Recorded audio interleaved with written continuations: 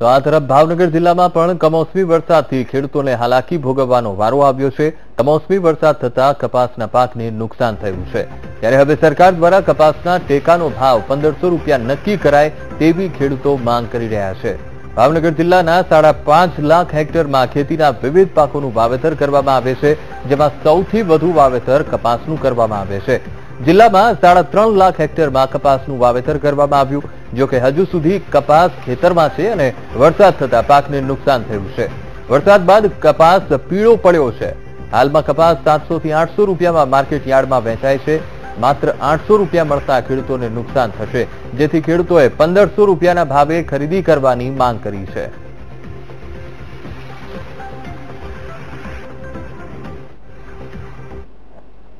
કપાસમાં શું છે, પણ ઉતારા નથી, કોક કોક જીંડવા આવ્યા હતા. હવે એ પેશિયું ને હિસાબ બધા ખોલા થઈ ગયા છે.